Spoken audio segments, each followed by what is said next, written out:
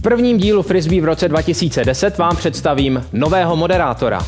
Říká si Reigo a dali jsme mu do smlouvy, že nejméně rok nesmí otěhotnět. Novinky ze scény, kde se právě nic neděje, nahradí hit paráda. Těšte se na ty nejlepší taneční klipy roku 2009. A o DJský set se dnes postará další angličan žijící v Praze, DJ Rhys Davies. Myslím, že se máte na co těšit, takže na viděnou ve středu.